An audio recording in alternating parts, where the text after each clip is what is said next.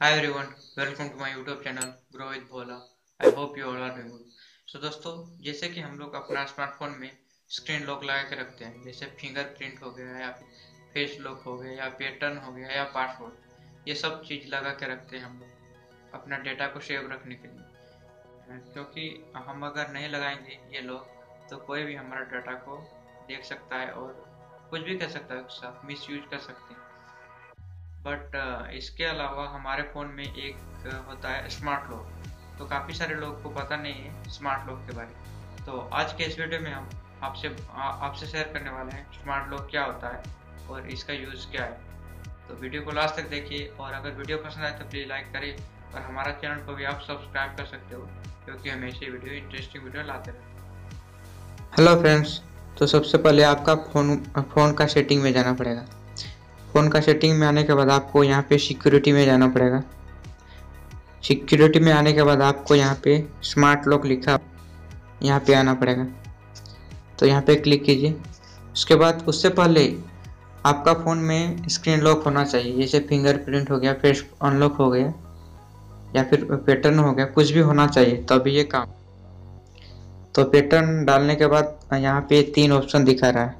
On body detect उसके बाद दूसरा नंबर पे दिखा रहा है ट्रस्टेड प्लेस और एक तीसरा नंबर पे है ट्रस्टेड डिवाइस तो अगर हम फ़र्स्ट वाला क्लिक करेंगे ऑन बॉडी डिरेक्शन डिरेक्शन तो इसका मतलब जब तक ये मोबाइल फ़ोन हमारे बॉडी के पास रहेगा हाथ में रहेगा जेब में रहेगा तो हमारा मोबाइल का स्क्रीन लॉक नहीं होगा।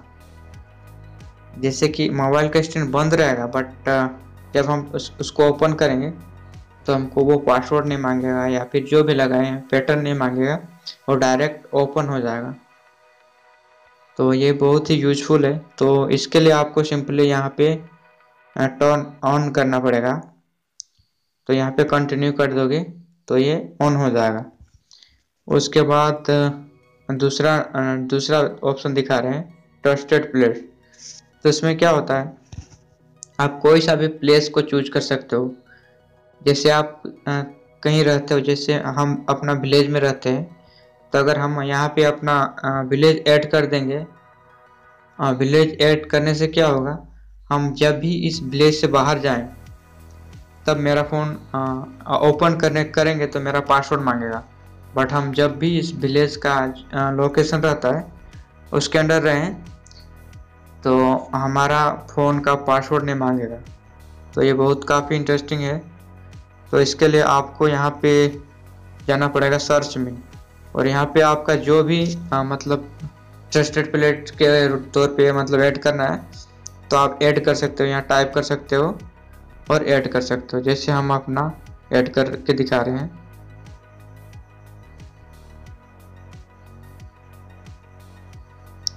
ये मुरुल सूदी हम ऐड करके दिखा रहे हैं आपको।